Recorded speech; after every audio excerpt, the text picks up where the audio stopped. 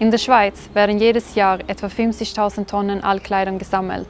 Etwa drei Viertel davon, rund 37.000 Tonnen, sammelt Texaid ein. Etwa 65 Prozent von den gesammelten Textilien können als Secondhand-Kleider wiedergetragen werden. Für etwa ein Drittel davon gibt es keine optimale Lösung. Sie werden heute downgecycelt.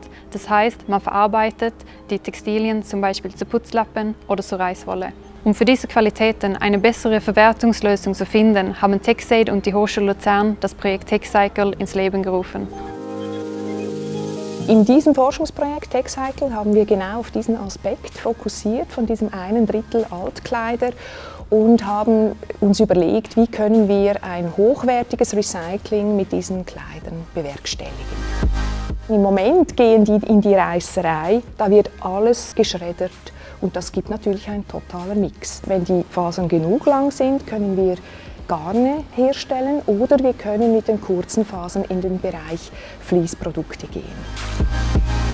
Jene Fasern, die man nicht verspinnen kann, kann man trotzdem brauchen für die Herstellung von Fließstoffen, Nonwoven, wie wir dem sagen. Das kann von der Papierherstellung, vom harten Karton bis zum weichen Akustikvlies äh, alles sein.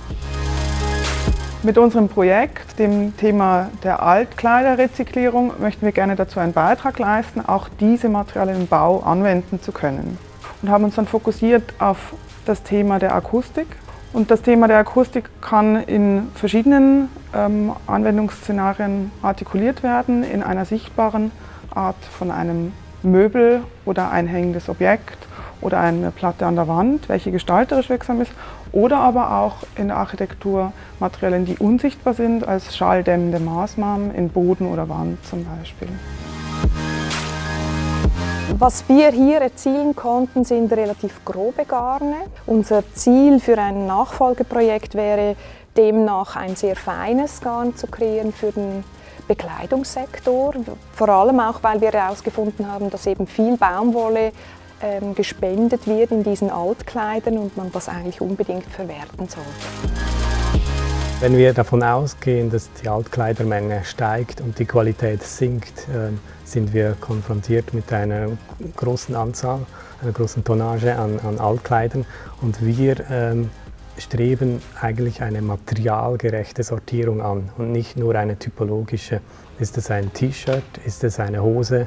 Unser Anspruch wäre, die Sortierung so zu machen, dass man weiß, das ist alles Baumwolle oder mindestens 80 Prozent Baumwolle drin, damit wir das wirklich deklarieren können in Zukunft.